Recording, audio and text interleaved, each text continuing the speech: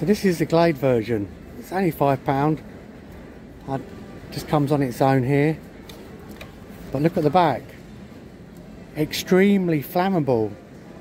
So if you've got this in your house, you've got to be, very, you know, some places don't allow flammable, um, like aerosols and that in the house, like gas, or even having like a bottle of white spirits for, you know, a bit of cleaning or when you're doing whatever.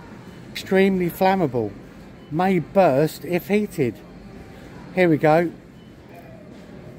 Harmful to aquatic life with long lasting effects. So basically if you keep fish or an aquarium, you want to be careful. So these are the refills and they're a little gas kind of aerosol container basically which you know you get this on hairsprays and things so it, might be more compressed but to think that liquid is uh, flammable and could accumulate in your apartment or your home and uh, harmful to pets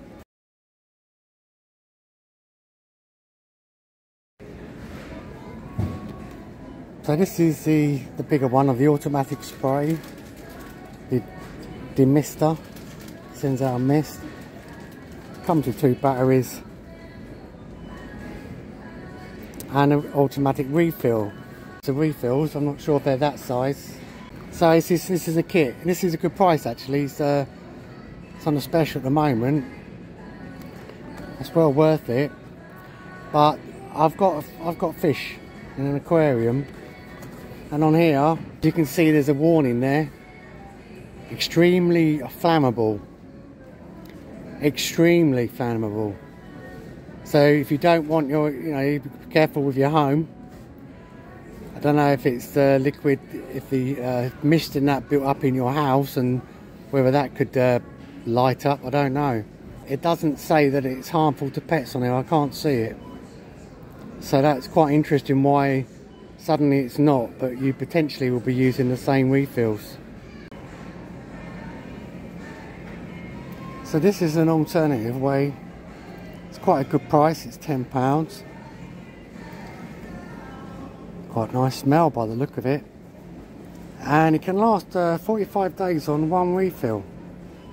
The only thing that's a bit concerning about these refills is danger everywhere. Look, danger. And on here, switch off insert before inserting refills. Uh, and then once open, do not store the refill out of the device. Use in a well ventilated areas. So if you want to use this in a room in the winter without the windows open, you know, what's going to happen? Because it does say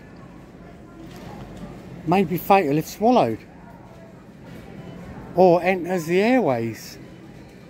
Seek medical advice immediately.